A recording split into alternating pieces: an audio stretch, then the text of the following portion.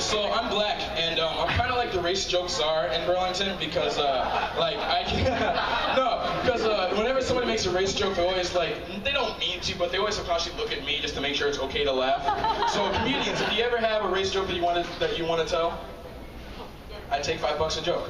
Um, and it's funny, I didn't realize that I was the race joke czar until like even my friends look at me that way. Like I had a friend in high school who I didn't realize I was like an experiment at this time, but he invited me over to his house and he's like, "You like comedy? Let's watch some comedy, right?" So we put on Russell Peters, who, if you guys don't know, he's kind of a racial comedian.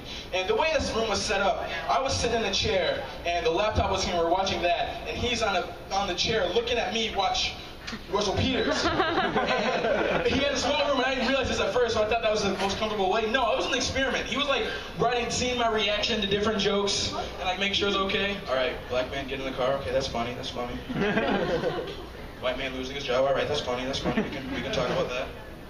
Black man getting arrested? No, no, not funny. Not funny. Talk about that again. That's that's not going to be talked about at school.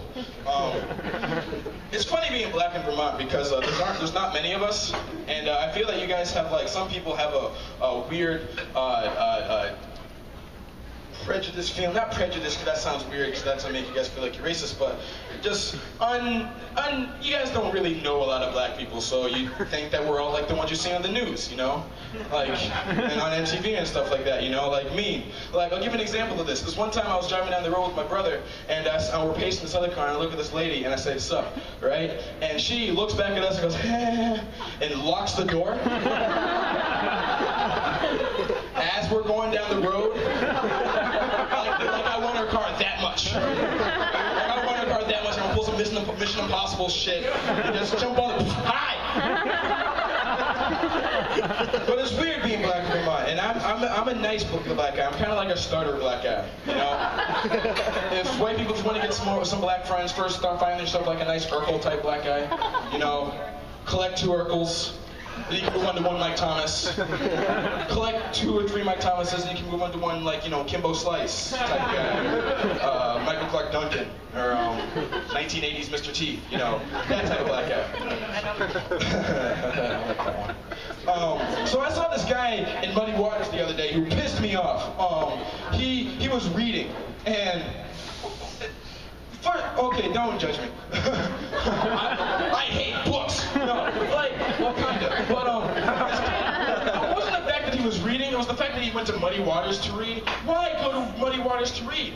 That is a noisy environment. That is not conducive to reading. You need to focus on your book. The only reason you'd go to Muddy Waters to read is so you, to have people think you're cool and that's you're you're you're an asshole at that point. I, I hate you for that because and this kid, the thing that really got me about this kid is that he wasn't even like reading his book. He was like looking around. And then went back to the book. Like, obviously, you're getting distracted. Just go home and read the book, you know. And he, he was moving his lips too. So he can't read good, obviously. read well, however the sentence goes.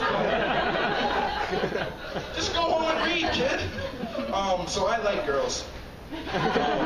especially hot girls. Uh, girl, hot girls, they, it, it sucks because they can do things that even a hot guy can't do, like at all. Like even a hot guy still has to be interesting. You know, like, uh, like that one's for you, sir. Uh, even a hot guy has to be interesting. You know, it has to like try with his stories. Uh, a hot girl can tell you about her cat for like 20 minutes, and a guy would be like, "Oh, where?" So on the third surgery, what happened? like I care.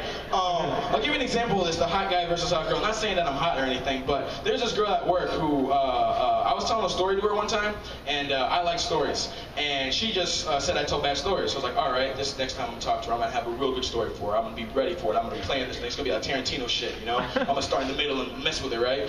And so the next time I see her, the next time I see her, I start telling a story, and she just walks away. Just walks right through with my story. I'm like, come on, you sat through Inception, all right? And that shit was confusing as hell, all right? For the first 20 minutes of the movie. Can't you let me tell a story?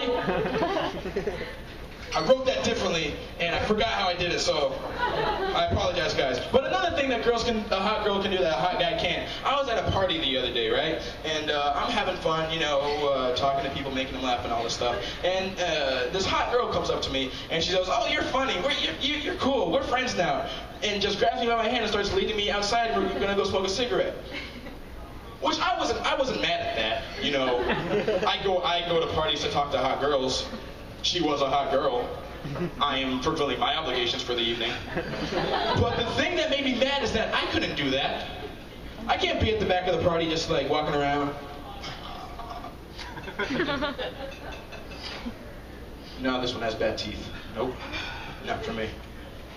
Nah, this one has, uh, she's, this one uh, can't run that fast. Nope, she's very, very weak. She's very weak. That one looks sick. Oh, that one. Yes, you're mine. Come here. Come on, girl. Want to hear a joke? Hold on a second. Let me put my brand on you. There you go. You're mine now. You're claimed. Um, I wish I could do that. I wouldn't even go up to talk to the girl honestly, because I'm an awkward kid. I'm a loser. I'm not a loser, but I'm an awkward kid. And um, like I don't know how social interactions go a lot. Like I don't know. I've never, I've never had, I've never walked away from a social interaction and thought, man, that went perfect. that has never happened to me in life. And I'll give you an example of this. Uh, this one time I was, uh, you see, it was one time I was talking to a girl.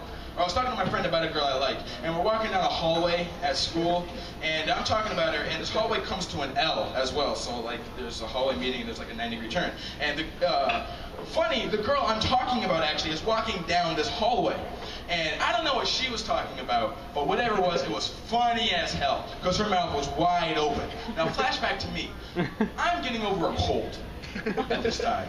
Don't get ahead of me. Yeah. Um, exactly what you think happened happened. I sneezed directly into her mouth.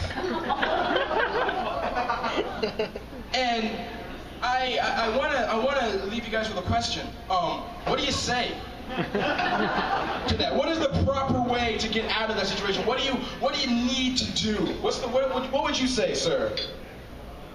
You don't know. Me either. Um, give me another example. Uh, there's one time, actually, I'll give you one example. Actually, I'm going to talk about this one the last thing.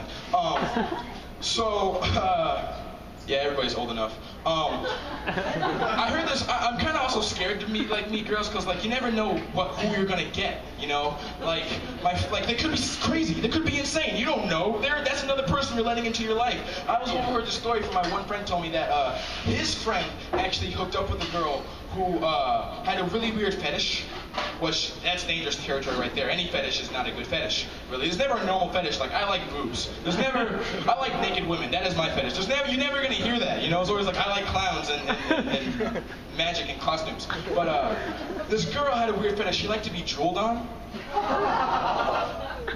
How do you how does that happen? How do you first, how do you discover that that is the way that you like sex? How do you discover that that's the way? Was your first time under a leaky faucet or something like that? It's like, oh, this is the way it should always be. I love this. It's like a big wet shaggy dog coming to the room and just, oh, water, I love this. And if you have this fetish, how do you talk to your, how do you sit down with somebody and be like, honey, um, I know you do your best. I know you do your best in bed, but uh, I don't think you spit on me enough. You don't. You don't. There, there could be more saliva in the bedroom, really. Okay. Anyway, I'm Mike Thomas.